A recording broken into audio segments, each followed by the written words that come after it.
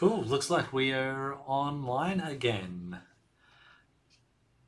Let's see if I can actually keep track of what I'm actually broadcasting out to everyone this time. Because I stuffed that up last week and uh, had no idea what people could see and ended up just showing the wrong thing. Uh, but, you know, that's all part, part of the fun. Uh, today we're going to be kind of picking up where we left off with last week's, where uh, we were playing around with um, a static web application I was building using Create React App with a GraphQL backend, uh, and then um, doing a bit of stuff uh, to build that out. And uh, one of the questions that kept coming up was around how you improve the use of TypeScript with GraphQL. So that's what I want to look at today.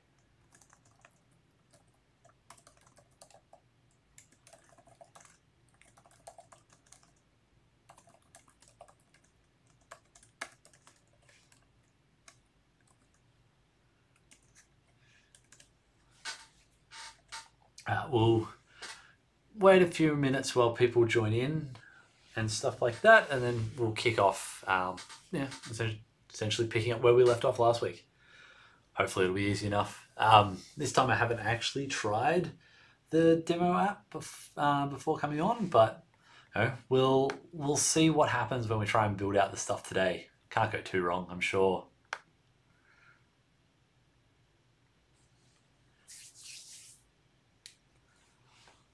Uh, I suppose while we're waiting, let's open up in Insider's code, get everything up and running.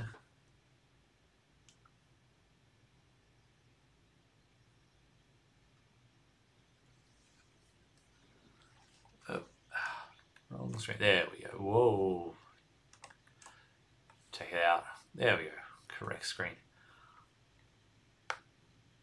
And actually, I'm going to kill that. The terminal. Uh, let's go create a new branch for this. GraphQL types.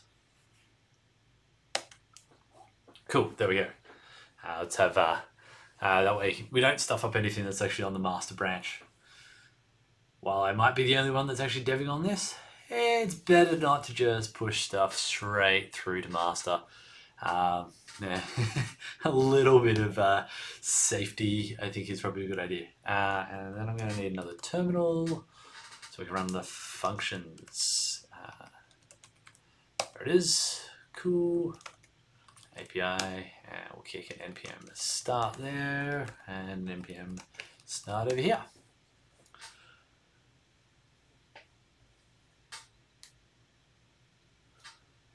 Sweet application all starting up. Wait for the compilers to all kick in.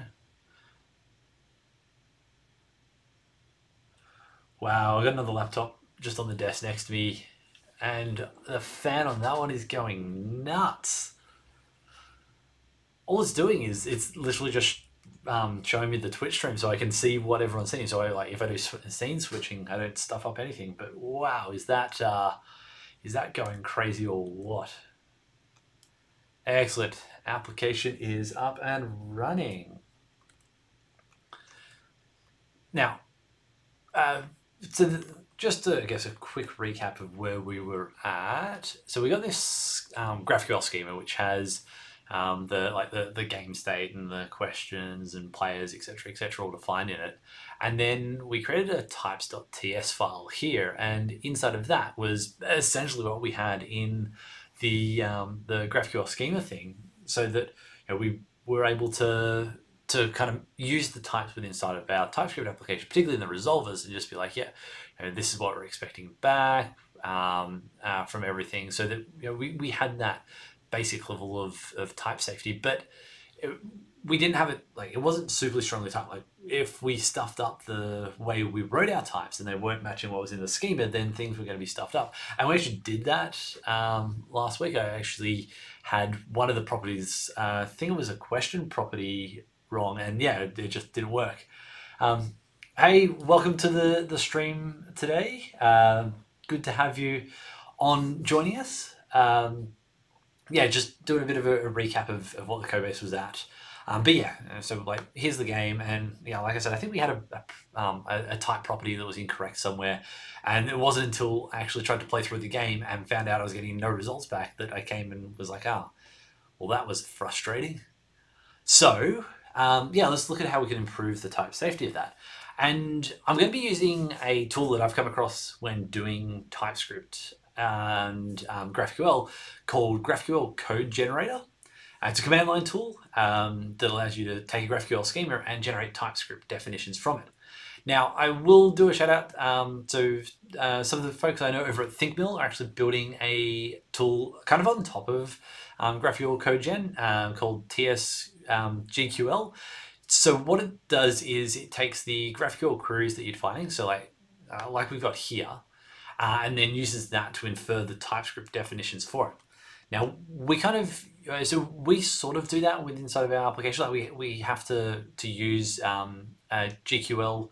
We're using it from um, GraphQL tag as a package and you'll see that I've got a query written in here but that's just plain old JavaScript then and I've got to pass it across the appropriate um, handler so in this case um, we're using the use query hook from Apollo hooks um, yeah, it looks like the, the one from ThinkMill is still a bit in preview um, and it's uh, I, I, am not going to go into it or, or play with it because I haven't had a chance to play with it yet, and BO still trying to work out precisely where it would fit in the sorts of um, structures that I do.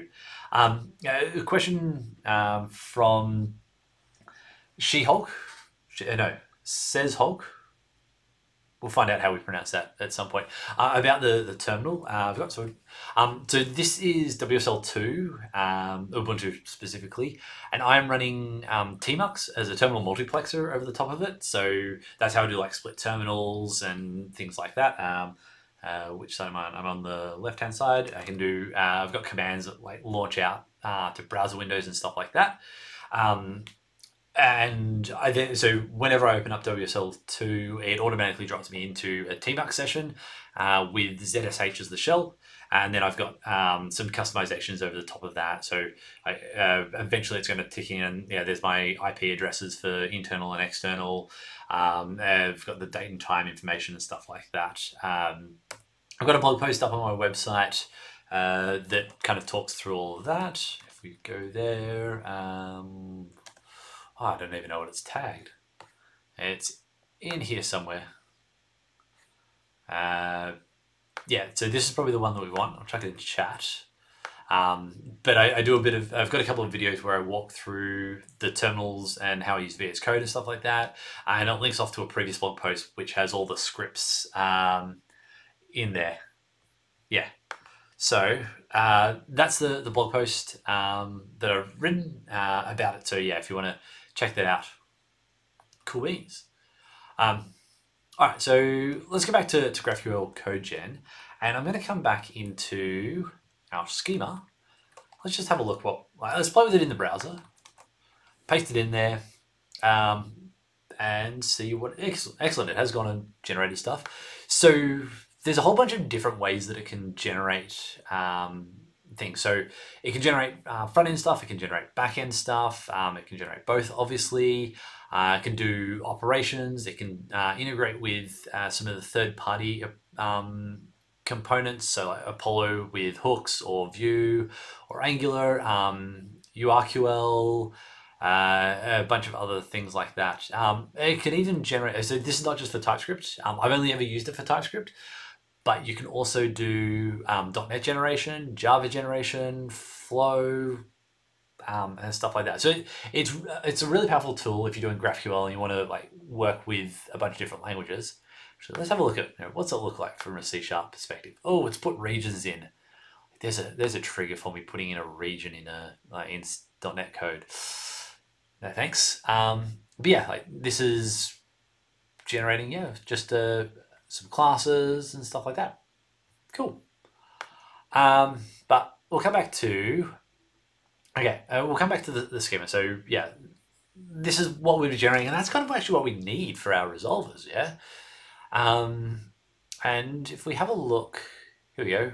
Uh, so for like a JavaScript backend, you get resolvers. Um, so it can generate me like the, yeah, there's that, so query here would ah it's uh, it keeps replacing this uh, schema over on the side. So let's update that. Um, and if we scroll down to the bottom, we might have where resolver. Hey, here we go. Uh, ah, cool. So query has game and games, which yep. Um, so then yeah, that um, that looks like it probably be fairly useful when it comes to um, what we want to import. But also notice it has the Apollo React hooks. Um, that's all changed as well. So here's like a query that we might be doing from the front end, um, find users. Sweet. Um, I have to obviously update the query. So let's just, let's just use their default one. So we would have a find users query. So that's like what you would call in the front end. Um, and then this is gonna, if we scroll down, there's the find users query as a type. There's the fragment. So like if you're, if what you're returning is not like the full original type, um, but using a fragment, which is where you can kind of like pick the subfields of a um, type that you want to return.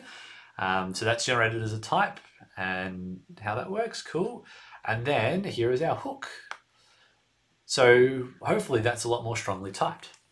Now, let's go ahead and start installing this. Uh, we'll split that terminal and we'll come into here and then to the API. So we're going to install these packages into the API project, not into the, the root project because um, I, I, the API is where the GraphQL stuff lives. Um, so it makes the first logical sense to install there. And I've already opened up the install guide. I've already got GraphQL installed. We want uh, install as a dev dependency GraphQL dash codegen slash CLI. So we'll paste that in. Remove the dollars at the start and we'll get going. Uh, do, do, do, do. There's nothing like watching npm dependencies install. That'll take a moment or two, I'm sure. Um, now, one thing that I don't particularly like um, in the previous times I've used the GraphQL um, code gen is that uh, there's two ways that you can do the configuration for it. Um, well, look at there's Azure Functions going nuts as uh, all these dependencies pop in. Um, so by default, it looks for a YAML file uh, called codegen.yaml, um, which we can see here in the browser. Um, I personally really don't like YAML. Uh, I just, I, I don't, I, I, find it's an overly tedious, um, like, uh, language, I guess, um, like config format to work with. Um, so I, I prefer not to use it. Um, GraphQL, uh, so this tool does also support JSON, but the JSON is actually even worse to work with because um, I just the like the way that you have to define everything in the JSON, it just doesn't work. So we're gonna use the YAML approach um, despite my you know objections towards YAML. Okay, what did it say next in install? Is we go npx codegen init. So let's run that. Uh, so this is going to be an API. Yep. So it's going to be an API. Cool. Uh, oh, wait. Toggle that one on. Read the instructions. Uh, where is the schema? So, so you can point it to an existing schema. So like if you're doing a client application, you might point it to an existing GraphQL schema. If it's a server application, you can probably put the path where the um, GraphQL schema is, which is what I'm going to do. Uh, it is in GraphQL slash schema dot GraphQL. So do uh, GraphQL slash schema dot GraphQL. Uh, so I want TypeScript with, okay, so it's auto selected for me. It must have detected um, the TypeScript. I'm going to hope that it detected and that's why it's selected. Um, but yeah, we want TypeScript and TypeScript resolver. So that'll make our resolver stuff a lot easier to work with. So yes, I like those. Uh, where do we want to output it to? Yeah, we'll put it to generated GraphQL. That seems decent enough. Um, we don't want to generate an introspection file. So this can be useful for like um, exposing out I think schema information and stuff like that. Um, but it's just a generation stuff that we don't need. Uh, we'll do that with the config. Uh, what script, what will we call it? We'll call it gen. Uh, okay, that's done. Uh, okay, so npm install. So uh, it's added a bunch of dependencies. So we'll kick off a new install and let's have a look at what's happened. So inside of our dependencies, we now have GraphQL CodeGen CLI up here at uh, 1.15.3 and then GraphQL CodeGen TypeScript and TypeScript resolvers. So that will just do the general TypeScript generation and then the resolvers will um, help us write our resolver stuff with inside of resolvers.ts to hand over to Apollo. Uh, we then have our codegen.yaml, uh, which yeah, overwrite. So every time we run the codegen, it's just going to replace um, what was previously there. Uh, documents. Now, so um, documents is useful if you're wanting to split out your schema into multiple smaller files um, and not just have like one enormous schema that represents everything. Uh, and then um, then we've got the generate node, and then inside of that is the output file. Now, what's kind of cool about the way this works is that if I wanted to output multiple files from this one schema and this one generation run, I can just literally clone this uh, out and then I can make multiple copies of it and then obviously put different paths and then it should all just work. Uh, GraphQL 2. Cool, there we go. So we'll get rid of that because uh, we only really need one of these anyway. Uh, all that's installed, so we then do npm run gen, so run the generation tool. Excellent. So it's parsed the config and generated outputs. Let's have a look at this output that it's generated. Ah, whoops. I probably didn't want to put it in source. I should have paid attention to what I was doing. Uh, so we'll just go to generated.graphql. Yeah. Oh, do we want to go? Uh, let's go graphql slash generated. Yeah, we'll put it. We'll nest it under the that folder. Uh, and then we'll run gen again. Like this original folder. Uh, delete permanently. Did I get it? Delete permanently. Ah, there we go. All right, so here is our new generated types. And they look big and complex and I'm just gonna format them with Prettier to make it a little bit easier to read. Uh, or not that, you know, like this thing here on line three to five, uh, three to six is particularly easy to read. Um, like that's a lot of generics with extended generics. And if you've not done a whole lot of stuff with TypeScript, that is going to look confusing as heck. Because, uh, yeah, so this is basically, it's um, required field is the type and it then has two generic arguments the one of them has keys that are of the type. Um, yeah, okay, that, that one's quite confusing. Um, but let's have a look at one of the ones that might be a lot easier to understand. Let's take answer, and we're to just split that side by side so that we can have a look at that like in comparison with the original schema that we worked with. So answer, um, so it has this uh, double underscore type name. That's just kind of metadata on the generated type. And then answer had two properties, a string and a question string and a question. And then question, we could like click down, we end up here, and that's where the question is. Uh, you'll notice that it's it's Scala, uh, so scalar, um, and then like ID or string and stuff like that, rather than just like direct string. Um, and that's because you can create your own types within TypeScript, uh, within um, uh, GraphQL. And uh, so if I had my own custom type, which uh, ID um, is. It's a built-in type, but it's still a custom type that TypeScript wouldn't understand. So they're all just inside of this um, this box here of the uh, of what it is. But yeah, cool. All right. Um, let's just let's let's go all out and let's come into our resolvers. We're going to pop that one into this tab. Whoa, no, I didn't want it in a new tab at the top. And anyway, I had it already open. Instead of doing that, we're going to go from types, we're going to generated slash GraphQL. Save that. Ooh, only a couple of red squigglies. So game state waiting for players does not exist. Ah, it's obviously detected pluralization and then depluralized it. Interesting. Um, I wonder, I wonder if that's something that you could control, or was that actually what I had it in in the schema? And I've just had that wrong. It is what I had in. The, so there's like there's the first catch of the day. Um, like the game state is waiting for player, not waiting for players, and so I've had that wrong the whole time in my type system. I what I'm actually that um, it has obviously hasn't burnt me yet, but that's something that I'd never considered. I, I just had it completely wrong. And I didn't know because the types that I'd written didn't match my schema. Um, uh, yeah, cool. Um, I'm actually going to go back to waiting for players because it's meant to be intended as a multiplayer game. So I'm going to just update that to waiting for players and we'll regenerate so that we get our updated um, TypeScript file, the TypeScript generated file here. Um, that should be done because we've got, yep, there we go. We've got overwrite turned on, waiting for players. Fantastic. Fixed. Come back to resolvers and all these errors have gone away.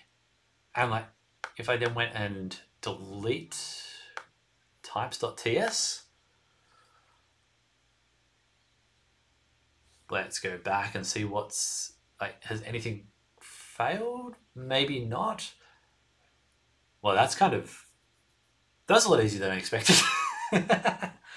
um, I should have just done that last week. Would have made, made my life easier. Uh, uh, fun. Um, no, I, I do actually know. I have a. We'll have an error in this file because that doesn't exist anymore. So we go generated slash GraphQL. Save that. So that'll regenerate the web application. Yeah. Okay. So wow, we like we we fi fixed an error that we had in schema versus implementation. Um, like that's a that's a good quick win. Now another thing that I kept running kind of into um, an issue with was like the, the return types of these like you know, player results. Like we don't we didn't know what the first argument is. We didn't know what the return type was, so we had to do a lot of explicit typing. Uh, and that's where the other thing that we've done with um, the CodeGen, doing this TypeScript resolvers, is actually quite useful for us. So we come back to resolvers, and we're going to import. Um, let's have a look at what are we going to import. We're going to import query, and where is that used? We want yeah, we want query, and then the mutation should be here somewhere. Uh, resolvers, game resolvers, answer resolvers. I think that's all the stuff that's in there. Yeah, we want a query resolver and then a query mutation.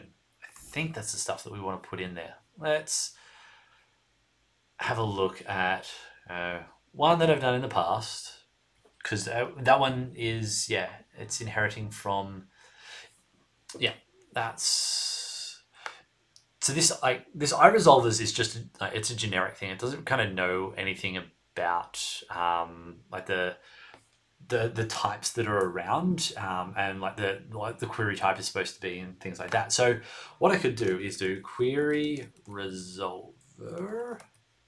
Oh wait, no, uh, column query. That's what it is, and then we're going to import uh, query resolvers is it, it's query resolvers. Yeah. Um, uh, no. No, no, no. We'll, we'll do this differently. We'll do um, type resolvers uh, extends. Yeah, extends. I extends. Yeah, extends. I resolver resolvers. There we go. Uh, no, no, no, it's not a type. It's an interface because we're just going to do it here. We're not creating a class or anything like that. Oh, we could create it, but no, I'm not going to. Uh, query is going to be a query resolvers, and we're going to have mutation, mutation resolvers. There we go. And I don't think I got anything else in there? No, probably not. So then I can change this to be resolvers, not um, iResolvers. And now if we hover over query, so it's got the that properly, and if we hover over game, now we'll see that the type definition here has actually, if I can highlight stuff, has changed a little bit. So we see this now of resolver, type resolver wrapper, um, and then uh, a whole bunch of different arguments. So if we now if we have a look over our underscore, like that's just the ignored um, initial argument. We have a look at the second argument, and if we go and just change that to args, we can see that this is a required fields um, game uh, query game args, and it's going to have a property of ID on that. So let's just go back to here. And what we get is now we get some proper IntelliSense. Um, so the, the type completion is like, okay, cool. So you want an ID there? We can give you an ID. Uh, and now I can also remove this because game knows what it needs to return. So I don't need to do any explicit typing. That knows it's going to return an array. That knows it's going to return an array. This knows that it's a promise. So I don't need to put that there. Get rid of player. And then what else we have? Got to get rid of game. Um, that one's not typed anyway. So yeah, so so now we get type safety off all of these because if I and I can click through on that to here's the like uh, let's just oops close uh, close off the little thing on the side. So yeah, that like you can see there. Um, there's the type of the mutation resolver, and it's like start game. That's the resolver. That's the arguments that come in, uh, and then yeah, uh, that's the like the return type. And like I said, these these types are quite complex. Um, that's understandably confusing to look at, but it's it, it's like writing with those at the start makes things so much easier. Because if I was to remove one of these, let's just remove submit answer, um, we'll uh, we would have a compilation error because we're missing um, one of the mutations that are on there. Um, uh, or at least we, we, we would get a warning because the mutations are all and the queries are all defined as uh, as optional. So that's what the uh, question mark here is on the side. Uh, all right. So we've updated the game resolvers, easy enough. Um, but let's then have a look at how we can improve the way that we work with it in the web application side of things. Because right now, um, we're having to um, like just make sure that we write this query appropriately and then um, pass it in to the uh, just to a generic hook like use query or use mutation if we're doing a mutation. But one of the, but because we are defining this as a tag, what I could do uh, is come over to my schema here, and we're going to pop it in just here at the bottom. So that like it's perfectly valid to put your um, like your queries and mutations and um, like in the file like this, or if you wanted to have separate files, and that works. Um, like the the that's what we have in this uh, this operations. Actually, let's maybe put that into a separate file. Do we want to? Hmm.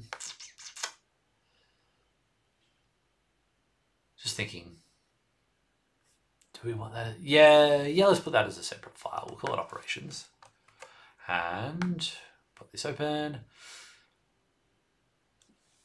Hmm. Yeah, we'll put it side by side of our schema. Now, and this is where it might seem odd uh, because we're putting operations, operations dot graphql um, so these are operations that are now kind of living with inside of the API. Like that's where that file's residing. So that might be like conceptually a little bit unusual, but you know, still it's it's a way that we could be going about it. And then in our code gen, we're going to just kind of grab this stuff here, um, and then pop a new node. Now that needs to be indented properly. We're not going to call it types with hooks we're going to go dot dot slash. So we're going to go up a level to the API project. We're going to go to source slash graphql operations dot tsx. So we'll output that there. Um, we don't want to, uh, so, uh, and then with the config, we're going to say with hooks, um, disable uh, not traditional React components uh, and higher order components. So there's, if you don't want to use hooks, you can use this um, with a couple of different ways. And we're going to need to install a few new NPM modules. So those are going to be all at GraphQL CodeGen prefixed. So if we come back here, go npm i-d, so that's shorthand for install as dev dependencies, GraphQL dash, oh, what was it? CodeGen, yeah, CodeGen slash, we're going to need type operation, TypeScript operations, yep, and and TypeScript React Apollo. And at GraphQL CodeGen slash paste, enter, run, so that'll install those new dependencies. Give that a moment and then uh, we can run the generation again and then it should output a new file up into our web component. npm run gen generate that. Alrighty. Now, cool, I got that location correct. And we'll see here that, uh, so it's got the full schema in there, um, and that's just because the, the, the output of the CodeGen will always in, include the full schema. Um, you can do some tweaks to like to point to where reference types pre uh, would already exist and things like that, but I'm not going to go into to overly advanced usage. And then um, I realized that it didn't actually output what I was hoping for. Let's have a look here. Yeah, config, operations. I don't think it found our, ah, no, it didn't find our operations file because I didn't tell it where to look. And so what we're going to do is we'll do in dot slash star dot graphql. So in the current location look for additional GraphQL files and they're kind of the additional metadata files um, for it. And fantastic, that has not worked. So we need to now have a look at, uh, unable to find any GraphQL, oh no, because it is, where is it? Ah, it's, at, it's at the same level of um, the, that, that, that, that, that, that, that, that, that. So what do I want to do? Maybe we'll put it into a new folder. We'll call new folder operations. And then we'll pop that up there. Yep, we'll move that file. Oops, into the wrong location. To operations. And then I'm going to rename this one. What was these operations? That is player. We'll call that player operations. No, uh, rename end game.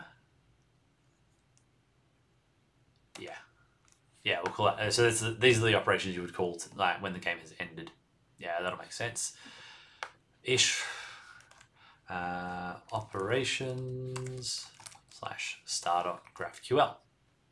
Okay. Let's try running it again. And oh, great, more errors. Uh, that's because it is in GraphQL slash operations. Now, this is what you come to watch: is someone generating, uh, uh, someone like failing to do things correctly. All right, there we go. That looks a bit better. The file has a big chunk down here at the bottom, which are Apollo hook stuff. Yeah. Let's just format so that we can fit it all on one screen. Yay, look at that. Use player result query. So we can now come to complete game. We'll delete that and we will do import from uh, dot slash, oh no, going to go up level to GraphQL operations. And we want, what do we want from here? We want use player results query. Yeah. And then we will delete the, yeah, we'll delete that. We'll do const, because we're not quite sure, we have equals use player results query, and we now have types. I should have I shouldn't have deleted the code. I can't remember what I passed in. Ah, variables of game ID and player ID. Okay, so I'll do const, uh, just so because we'll ignore whatever comes back at the minute, so we can have a look at it. Use player results query, And then, so the first argument is going to be um, operations, which will have variables, variables. And on the variables, we will have a game ID, which will be ID, and then we'll have player ID. Cool. Format that. Okay, now underscore has a result. What's the result? It's a player, it's a query result. So if we go, what can we decompose out of that? Uh, we get loading and data, which we had up here. So now we'll delete that. Cool. So data might not be uh, might be undefined, which we should be capturing there if data is not undefined. Uh, and there isn't data. So if it's, ah, no, we'll do or, or there isn't data. Okay, cool. So that, that deals with that trap. Let's just get rid of the typing there. I don't think we're going to need it. Cool, because so player data, player results, and then the result has the fields that we expect. Correct answer, uh, correct question, answer, correct answer, and submitted answer. This then cascades down so we get all of our types. That. And I can now get rid of that. I now don't have to have the query written inline in the file. I've got it um, elsewhere. I can then get rid of GraphQL tag and we've managed to kind of simplify up this file. So then, like, because that way then we can have this um, query be used in multiple different locations because um, we, have just defined this as a, as a generic query somewhere in a like a GQL file, um, and then that just works like for for a vague definition of just works. Um, and then we could like extract this out and do the same pattern with um, with pretty much anything. So let's go. Uh, let's go with one of our complex ones. Um, because I had I've got one in here that does multiple operations in a single thing, but I can't remember which file it was. Uh, I think it was it was join game. No, maybe maybe play game. Um, get game and submit answer. Hmm. No. I don't have any other pages that I've forgotten about. No, it doesn't look like it. Um, Oh, maybe I undid that code. Okay, so let's just start with um, the create game mutation. So we create a new operation. Uh, we go new file, we'll call that game.graphql. Paste that in here, format, um, uh, create game. So we give that mutation a name so it's traceable. Uh, I didn't realize I hadn't done that previously. Uh, we will regen. So what happens? We've generated some outputs, fantastic. Uh, let's over in this file, we'll open up the operations. Straight out of the bottom. Ah, it's getting a bit annoying that I have to reformat that every time. Cool, so there, like there's our, um, so this is actually kind of uh, good to know is that it does generate you just the, um, like the tag mutation string or the, the tagged query string will be up uh, will be somewhere. I'm assuming. Uh, like so, if you if you do want to use that and you don't want to use the um, uh, the uh, like the generated um, uh, what's called generated hook, yeah, you can you can do that. So it, it's there, it's available as well, which is kind of cool. Um, so we've got now our use uh, use create game mutation existing at the bottom. We'll come back to here. Uh, we will delete that because we don't need it, uh, but we will, just so I can see what fields I need back, we'll go, actually, now we'll use create game mutation. We're not passing anything to this because this doesn't actually take any parameters. Get rid of that, delete those two. Now we'll see here that the data um, again isn't defined. So this is kind of where we need to be doing like proper uh, like proper error checking and stuff like that because because you can receive like null responses back from like the, the data that you're collecting and you've got to make sure you've got the appropriate guards so Um, if it's not loading and it was called and there wasn't an error and there's data, sorry, and data exists, that should, data is still undefined, check possible null or undefined. So it's not loading and it was called. Hmm. Uh, yeah. Uh, if error. Hmm. This is the one challenge with TypeScript. It's like, how do I, how do I tell it that no, no, no, no, there is actually going to be something there. Just please use it. Um, and data. Uh, should exist. It's not like, well, okay, so like, realistically that could be simplified to and data.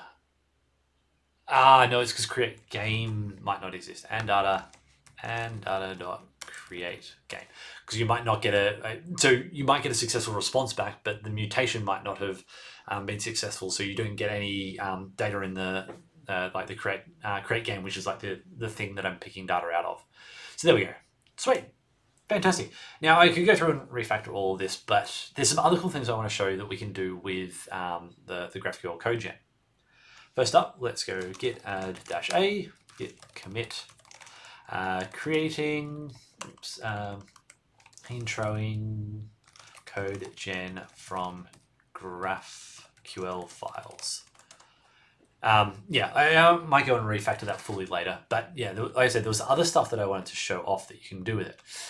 Because um, you'll notice that I keep having to um, like, like hit format whenever I do you know the this stuff uh, like the, the, generated files. So essentially, the generated files are not going to pass my um, code formatting. Uh, like if I was doing a, like a CI/CD process that was running linting and stuff like that, my linting rules are not being applied to it. My formatting rules are not being applied to it. But thankfully, we can do that quite easily with the the CodeGen config file. Um, we'll come over to the docs because I'll just show you where that is, uh, or more accurately, where to come to read it. Um, there's a section around prettiers and linters, uh, and essentially what we do is we add a hooks and then get it to do uh, like whatever the hook is that we want to run afterwards. So we'll grab this hook here, paste it in. Uh, I'm just going to change it to N, npx because I don't have Prettier installed globally, so I'll just get it to run npx Prettier. So it will run the version of Prettier that's inside of the repository. But if you wanted to run it through like ESLint, you can do that. Um, or if you had any other um, linting or formatting tools that you might want to run um, post generation, yeah, it's, it's, quite easy to, to add that. So that's done. Now, when we run it, let's come to npm run gen. Okay, so we've parsed output, generated, and there we go. So you, will notice that it did the auto format, uh, or like, you know, you might have noticed, it was a quick um, flick, that the auto format was done. So basically what it does is it writes that file, and once that file is written, it then runs your, um, like your, on a, uh, on one file write um, hook. So you like do that after the, the fact. So you can, um, so yeah, like if you, if you wanted to, to run like an, uh, an NPM test like after it or, or whatever. Yeah, you could you could run all that when the files are, are written to disk. Uh, but this one, yeah, it's just doing the formatting. So now if I was to like hit save on that file, it's not actually going to do anything. It's not going to update uh, the format or any of that sort of stuff.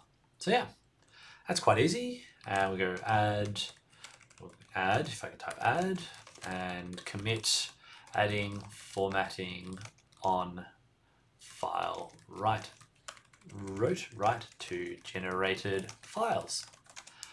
And now let's git push dash u origin graphql types types. There we go. So let's push this up as a new branch uh, to the git repo. Because we've got some changes, I'm going to create a new pull request.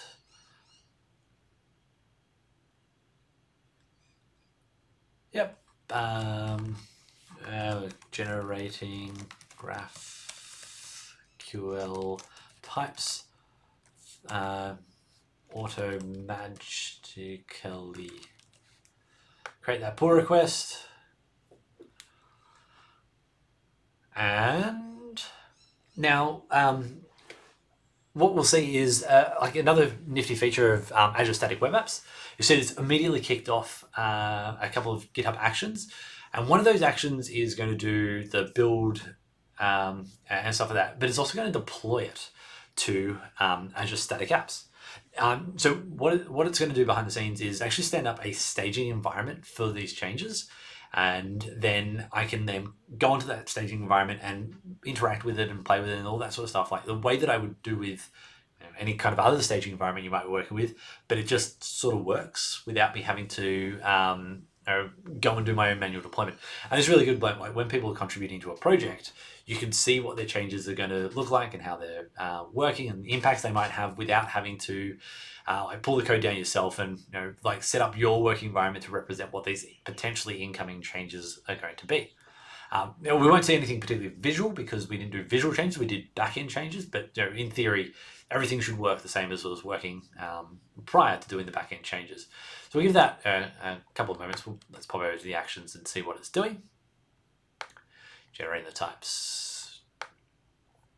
So yeah, it's just kicked off this uh, build and deploy, which means that Ah, um, so I, I have actually checked in the generated files, um, so I don't need to run uh, the generation while doing the build. But if you don't want generated files uh, included um, in that, then you would have to to modify uh, your like either your um, your npm build script to also call that npm gen uh, or npm run gen um, that I have, uh, or if uh, or modify the way that the workflow file works that it will do that um, that generation as well. So yeah, it's just something to be mindful of. I, I completely didn't think about the fact that I was um, including the generated files in source control. Uh, yeah, but it's like I said, it's, it's something worth being aware of that you would need to to make sure that you run that yourself if you're not uh, including those files.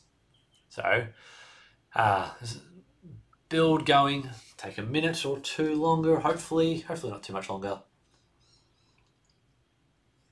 It's going to take a while because I forgot to download the Azure Functions SDK because uh, I include that as a dependency.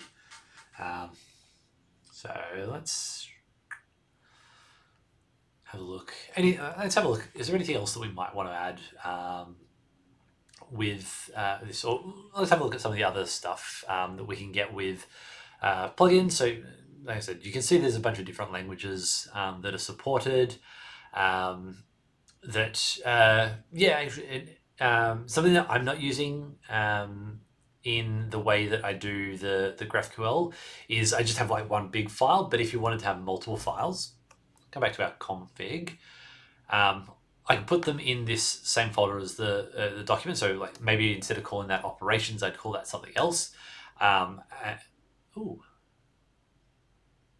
Nice. I didn't realize that we would get um, IntelliSense around the the YAML file. That's cool. Um, yeah, so global expression ported in multiple code files, inline strings. I can even click out to a link here and have a look at how the document works. Um, so, a question from um, DOTA to Attitude. Um, no, I don't know anything about um, uh, Fargate on AWS. I, I haven't used um, AWS really um, uh, for, for much or much other than like really like light touch experimentations. Uh, but yeah, uh, so I sorry I, I can't give you an answer better than uh, I could probably Google it for you. Um, yeah. Okay, cool. It looks like uh, yeah. Let's focus on the what I was talking about here. Um, so it looks like we can specify multiple locations for where documents are. So uh, yeah, if like, you want to be explicit on the files, I could do that as like um, uh, subnodes, or if I wanted to, you know, maybe pull out, um, I actually pull out the the type. So the, the the enum into a separate file. I could do that, and then in the config reference like a location where GraphQL types are relative to the operations that are can be performed, and so on and so forth. But here we go. Um, let's go back here to our uh, build. So our build has completed, as I said, and you'll see a new comment has been pumped in there by GitHub Actions that says that your stage site is ready, and we can click there pop across to it. And here's a staging site. The the difference um, with this versus the deployed one is that it's got a, um, a suffix around the I think the, the build that triggered it. Uh, let's have a look. What was the what was the final commit? No, uh, yeah, to do with the build ID. So it's it's on a separate um, subdomain, and then if we go to portal. And we'll jump into here and we'll have a look at um, what's actually been changed in the portal sign into all of the accounts.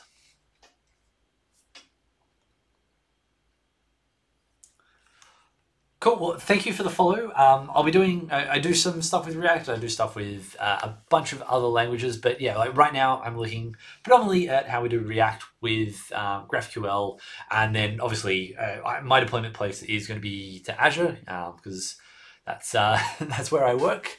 Um, but yeah, the the stuff that I'm talking about here is not stuff that is overly tied to any particular platform. Uh, whoops, not custom domains.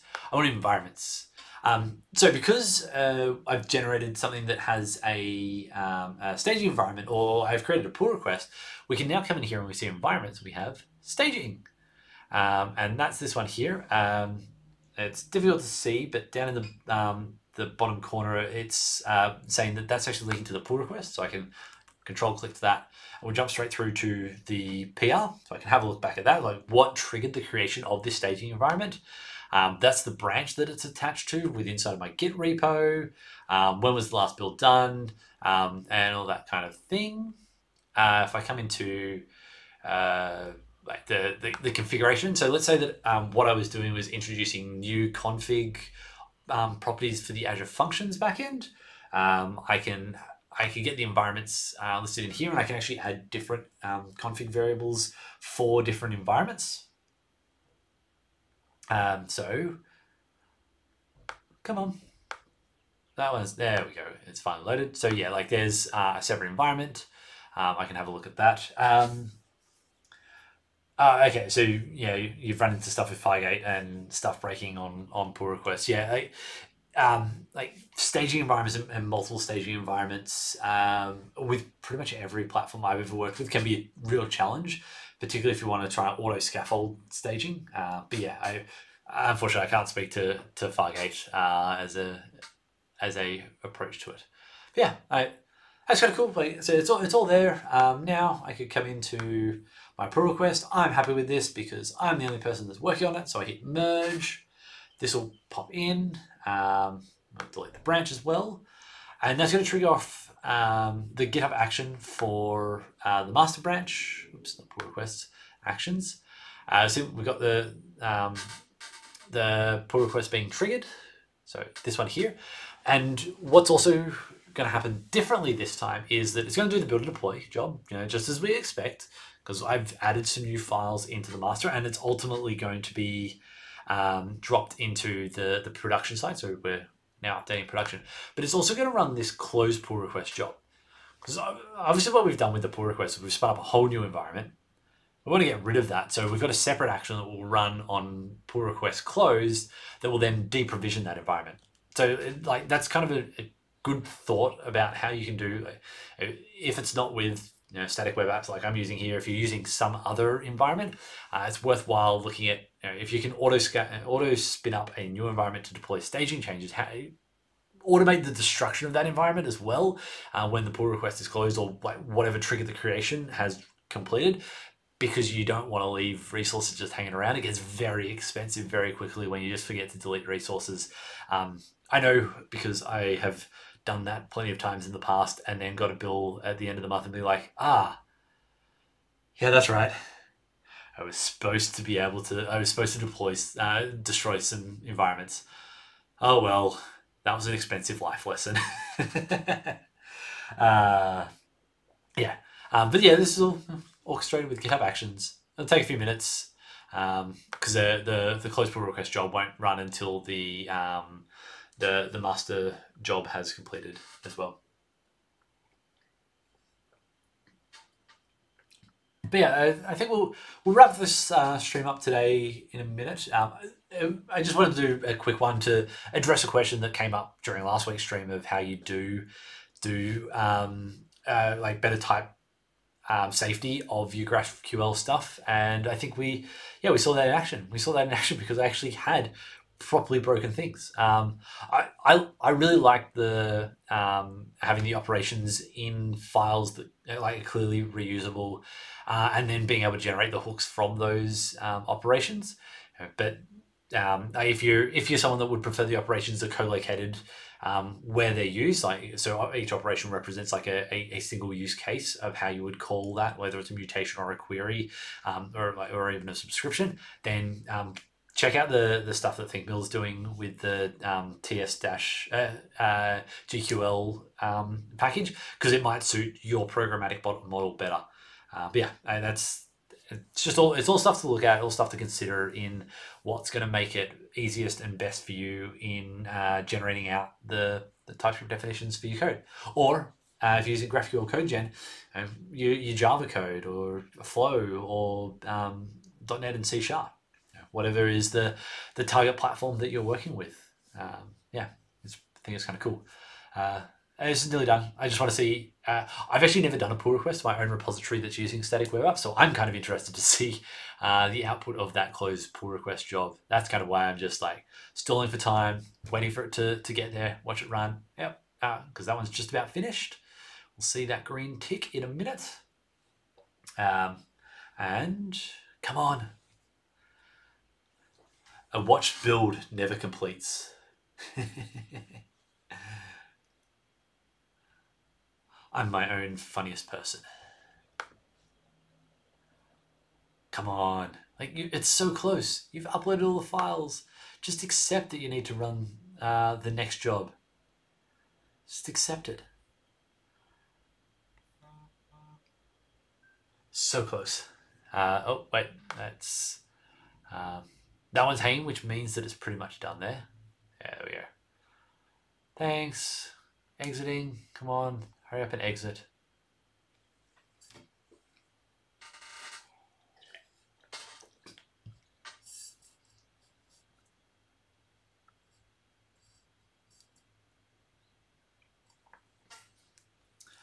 Ah, uh, tedious.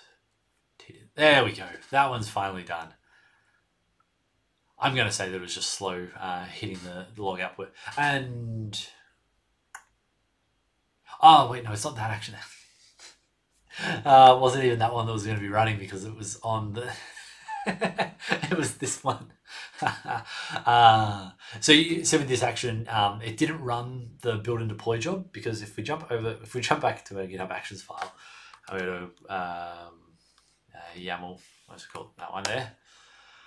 Um, so build and deploy job uh, wasn't run because while the event was pushed and it was uh, so uh, so while the event name was pull request and the uh, it was a closed action so that one skips over.